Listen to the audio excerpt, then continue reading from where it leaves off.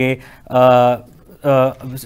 शहजाद अनवर भट्टी साहब जो कि फॉर्मर डी जी नैब रह चुके हैं। Sir don't you think prime minister की जानब से मतलब इस तरह का जो इकदाम है ये थोड़ा सा पार्शल कहलाएगा क्योंकि जो चेयरमैन है वो तो अपोजिशन और गवर्नमेंट दोनों की तरफ़ से मिलकर सामने आता है।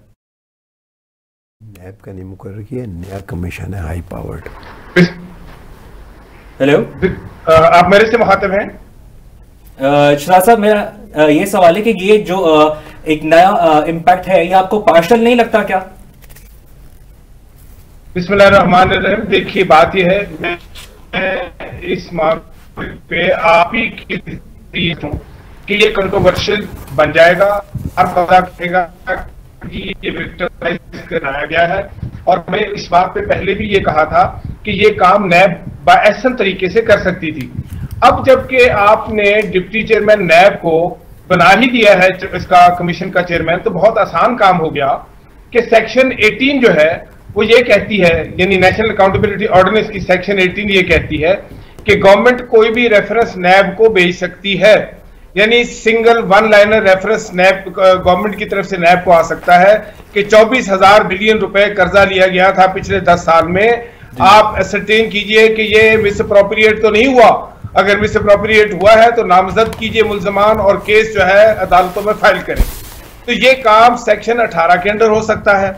और डिप्टी चेयरमैन नैब के लिए कोई आपको, यानी जो कमीशन बनाया उसके लिए कोई टी और नए बनाने की ज़रूरत इसलिए नहीं पेश आएगी कि सेक्शन 18 ही आगे जाके ये कहती है कि किसी भी शख्स की असिस्टेंस जो है, या किसी अदारे की नैब हासिल कर सकती है इंक्वायरी इन्वेस्टिगेशन करने के लिए।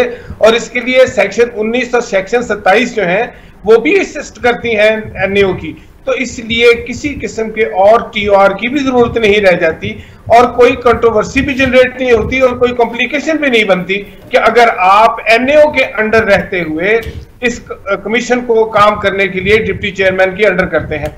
कोई एक्स्ट्रा आपको ऑगमेंट नहीं करना पड़ेगा, कोई एक्स्ट्रा बजट नहीं देना पड़ेगा, कोई रिसोर्सेज नहीं देनी पड़ेंगी, क्योंकि कानून deputy chairman NAB chairman NAB को ऑथराइज कर रहा है कि आप मुल्क के किसी भी अदारे, किसी इंस्टीट्यूशन किसी बैंक किसी शख्स, किसी को भी आप बुला के उससे असिस्टेंस उससे इंफॉर्मेशन या उसको कह सकते हैं कि हमारे लिए काम करो, किसी को अटैच कर सकते हैं अपने साथ। तो लिहाजा आपको किसी स्पेशल टी एंड आर की ज़रूरत नहीं रह जाती बिल्कुल सर ये सवाल मैं तार साहब से करता हूँ। तार साहब शहजाद साहब का ये कहना है कि इस पे अपोजिशन की जाने से अभी फर्दर कॉन्ट्रोवर्सीज आ सकती हैं।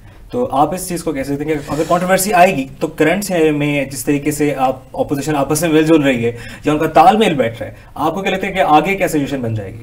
देखें जी, पाकिस्तान में डेमोक्रेसी और पार्लियामेंट्री सिस्टम जो है, वो हमें पता है एक्सट्रीम प्रेशर है उस पर इस वक्त करने के लिए। जिन लोगों के ख़िलाफ़ अकाउंटेबिलिटी हो रही है, वही शोर मचा रहे हैं कि हम बजट को आगे नहीं चलने देंगे। और नैब के जो चेयरमैन हैं, जिनको रिमूव करने के लिए जो क्वेश्चन कर रहे हैं, अभी आपने एक स्कैंडल देखा जो एक पार्टी की तरफ़ से किया गया था इनिशिएट पीपल्स पार्टी का नाम लिया जा रहा है उसमें। तो उन्होंने मिल के नैब के चेयरमैन को मुकर किया था। उसके बावजूद वो बाई पार्टीजन उसको नहीं कर रहे। लेकिन ये कमीशन है, ये एक अदालती सिस्टम है, ये आगे चल रहा है। ये कोई मार्शल लॉ नहीं लगा हुआ। ये रूल ऑफ़ लॉ है जिसके तहत आगे चल रहा है। बेशक वो जो मुजरिम है, वो कहता रहे, या जो मुलजिम है, वो कहता रहे कि ये पार्टीज़न है। लेकिन मेरे ख़्याल में इसकी लीगल हैसियत कोई बहुत ज़्यादा चैलेंजेबल नहीं होगी। और काम चलता रहेगा और इससे एक कम अज़ कम एटलीस्ट इससे एक रिसर्च वर्क और एक अच्छा अब तो हेयर सेफ़ है ना कि कर्ज़े लिए, ख़र्च किए, हमने किए, किसी की बात समझ नहीं आ रही। एक रेफरेंस आ जाएगा कि किसने कर्ज़े लिए और किसने गलत किया और किसने उनको खर्च करने में क्रिमिनल जो है वो मोड इख्तियार किया जो कि अवाम के फ़ायदा में नहीं था, या जिसमें कट ऑफ्स थे, या नज़र थे, जिस तरह उनको पॉलिटिकली फ़ायदा होता था बट मुल्क को नुकसान हुआ बर्डन हो गया, या जो प्रोजेक्ट जैसे मेट्रो है ऑरेंज ट्रेन और प्रोडक्टिव नहीं है उनका रेवेन्यू नहीं आ रहा उल्टा लाइबिलिटी है सब्सिडी देनी पड़ी है उनको सस्टेन करने की तो इसका फ़ायदा होगा। इसका फ़ायदा होगा। लेकिन शहजाद साहब से जिस तरह भी हमारी बात हो रही है और जिस तरह भी एक और भी चीज़ है कि ऑल पार्टी ऑल पार्टी जो कॉन्फ्रेंस है वो भी एक्सपेक्टेड होगी इस पूरे सिनेरियो के बाद।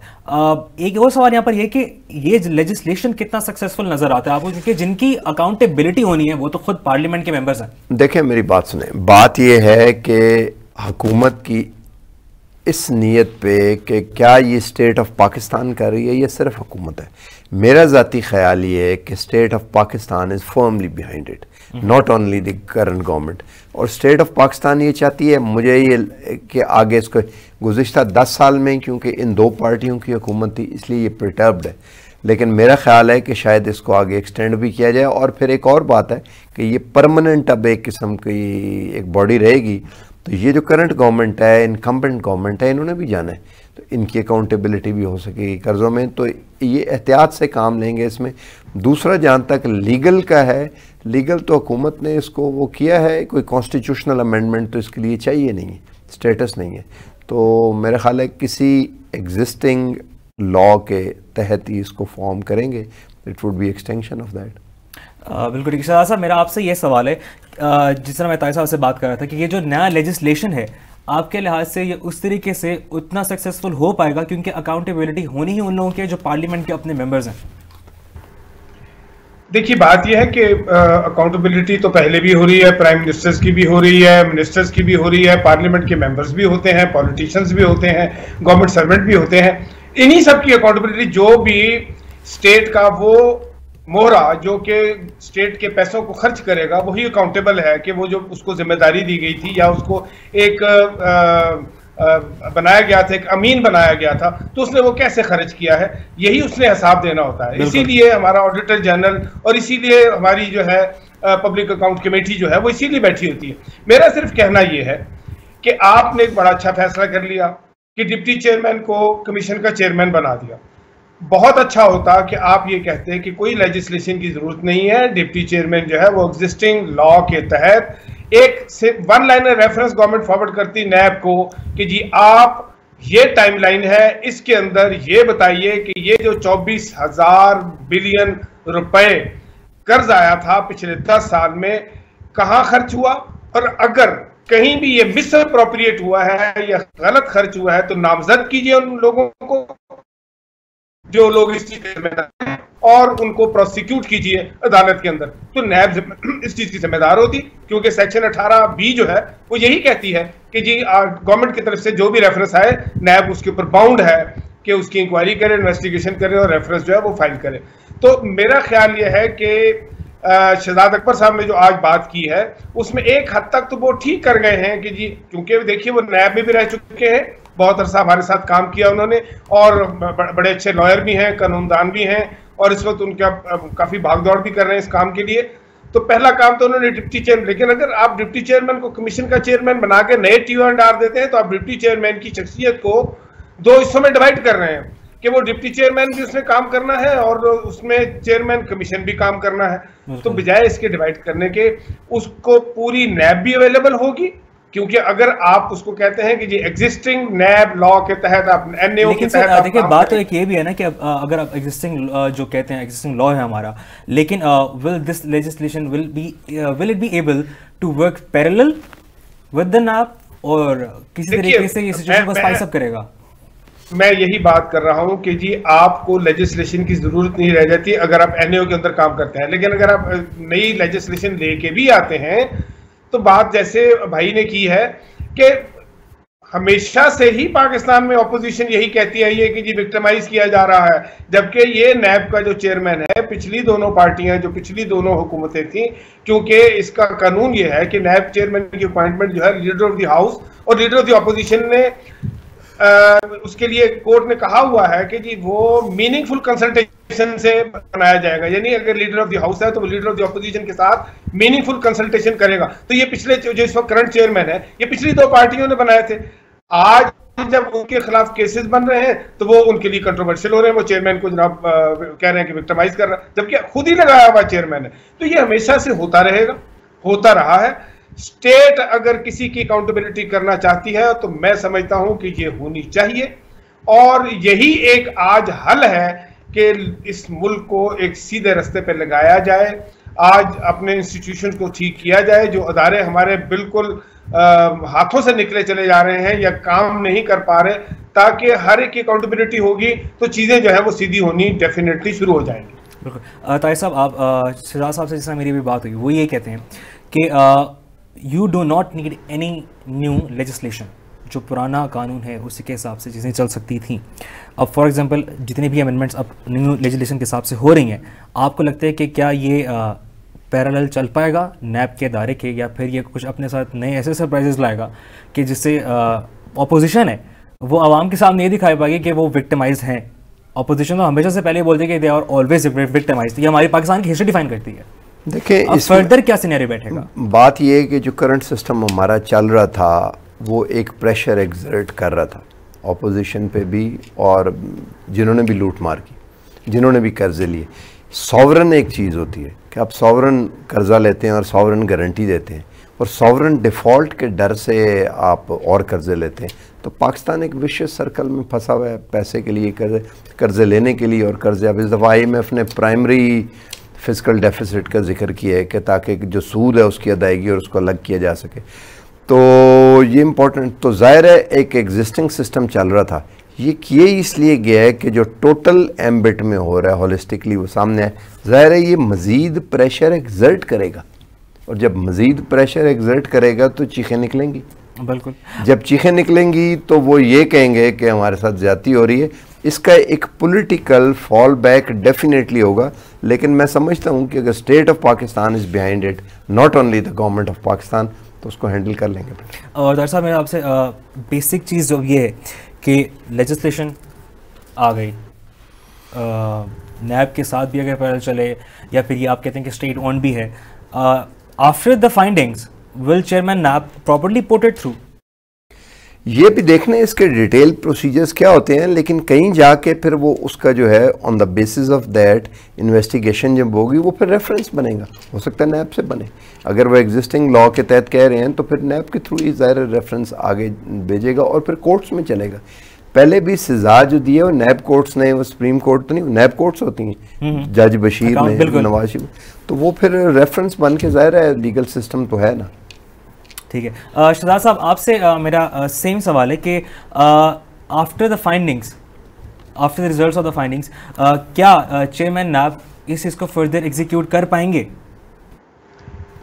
देखिए जो नेशनल अकाउंटेबिलिटी ऑर्गेनाइजेशन की सेक्शन 18 है, जब भी स्टेट उनको कोई रेफरेंस भेजेगी, किसी किस्म की शिकायत भेजेगी, किसी किस्म की कंप्लेंट भेजेगी तो chairman NAB is bound to investigate and then अगर वो उसके अंदर देखता है कि जी कोई मिस अप्रोप्रिएशन हुई हुई है या जो इल्ज़ाम लगा है वो सच है तो उसको प्रोसिक्यूशन के लिए उस केस को तैयार करना है और रेफरेंस अदालत में फ़ाइल कर के उसको है कि ताकि वो प्रॉपर प्रोसिक्यूशन भी उसकी हो सके। तो ये तो चेयरमैन की ड्यूटी में भी है और उसको आ, करना भी है। हर हाल में ये करना। तो मेरा ख्याल है इसमें तो कोई शक नहीं और डिप्टी चेयरमैन को कमीशन का चेयरमैन बनाने की वजह भी यही है कि उसके पास नैब की रिसोर्सेज भी होंगी और अल्टीमेटली जब फाइनली जिस तरह देखिए जीआईटी ने काम किया ये एक कमीशन भी उसी तरह काम करेगा इनिशियल चीज़ों को इकट्ठा करेगा इंफॉर्मेशन लाएगा लोगों को नामजद करेगा यानी इंक्वायरीज करेगा ये और इंक्वायरी करके नैब के हवाले कर देगा कि जी ये ले अब इसको आप इन्वेस्टिगेशन बनाए। वो रेफरेंस की शक्ल होती है एक कंप्लेंट की शक्ल होती है जो निकाल के तो पब्लिक अगर करना चाहेंगे तो पब्लिक करेंगे क्योंकि इसी के अंदर सेक्शन 24 में शायद ये लिखा भी हुआ है, सेक्शन 27 में कि अगर कहीं सीक्रेसी चाहिए तो वो फिर नैब चेयरमैन जो है, उसका वर्डिक जो है, वो फाइनल गिना जाता है। तो आसानी ये है कि अगर इस लेजिस्लेशन जो करंट आती है, अगर कोई आती है तो उसको नथी कर दिया जाता है नेशनल अकाउंटेबिलिटी ऑर्डिनेंस के साथ। बहुत सारी आसानियाँ हो जाएँगी कि जो 20 साल से आजमाया हुआ कानून है और जिसको हर शख्स जानता भी है और कोई चीज़ उसके अंदर नई नहीं होगी तो वो आसानी से हैंडल भी किया जा सकता है और अप्लाई भी किया जा सकता है। लेकिन अर्षद साहब अभी आपने एक बात की कि मतलब आ, अगर पब्लिक के हिसाब से देखा जाए तो वो खुद भी आ, एक कंप्लेन कर सकते हैं। लेकिन आ, अगर हम पास हिस्ट्री देखें थोड़ी सी जितनी भी हुकूमतें आई उनका अपना बंदा आगे आया। राइट नाउ इस तरह का डिसीज़न आवाम के सामने क्या इम्पेक्ट छोड़ता है? अपोजिशन को तो फिर भी फैसले में साथ शामिल नहीं किया गया। देखिए ऑपोजिशन तो हमेशा ऑपोजिशन होती कौन सी है? पिछली गवर्नमेंट या तो ऑपोजिशन होती है या आने वाली गवर्नमेंट ऑपोजिशन होती है। अब बात यह है कि अगर पिछली गवर्नमेंट ऑपोजिशन है तो उसने हिसाब देना है। उस हिसाब लेने के लिए एक तो ऑडिटर जनरल मौजूद है और आपकी पब्लिक अकाउंट कमेटी भी वो हिसाब लेती है। और आप देखिए पिछले दौर में ऑडिटर जनरल ने भी नैब को भेजे हैं केसेस कुछ ऑडिट्स भेजे हैं कि जनाब ये लोग हैं ये हमने हमारे ऑडिटर्स ने निकाली है चीज़ें। और पीएससी ने भी कुछ ऑडिट पैराज जो हैं, वो नैब को भेजे हैं फाइनली कि ये वो ऑडिट पैराज हैं जो कि किसी क्लैरिकल मिस्टेक की वजह से नहीं है, जबकि उनको उसमें मिसअप्रोप्रिएशन नज़र आ रही है और वो नैब को भेजा गया और नैब ने उनके ऊपर रेफरेंसेस फ़ाइल किए।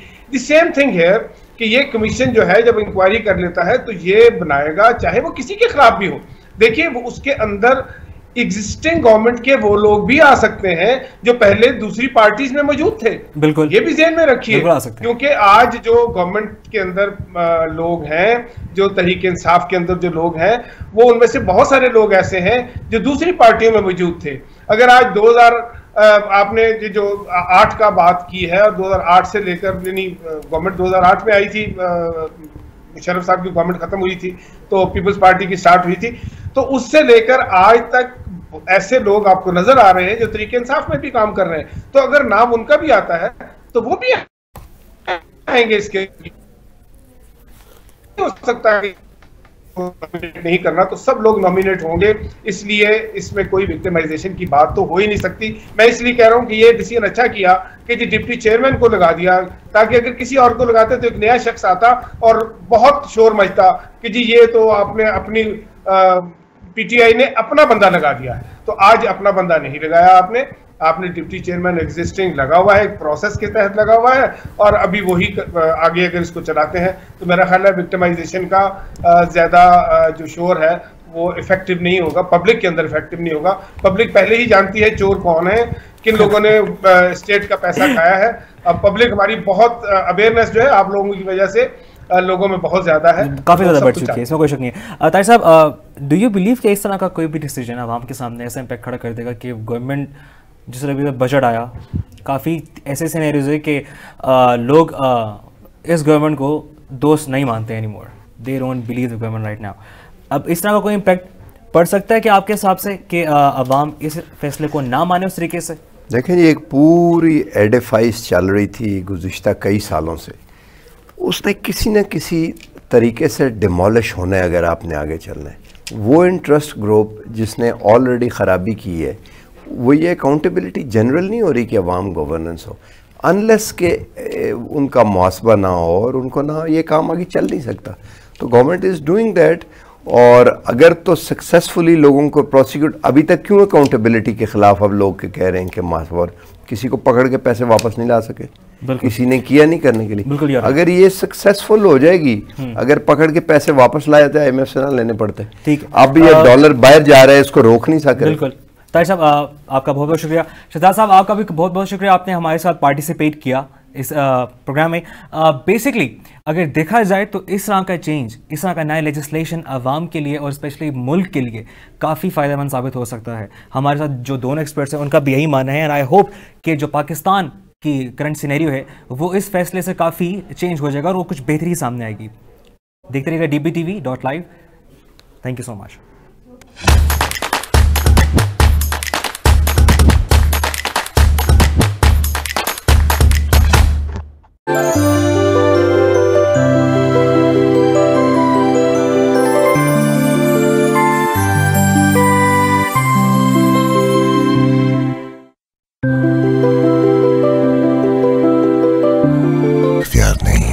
पर बीमार का इलाज करवाना हम सबके इख्तियार में है। इंडस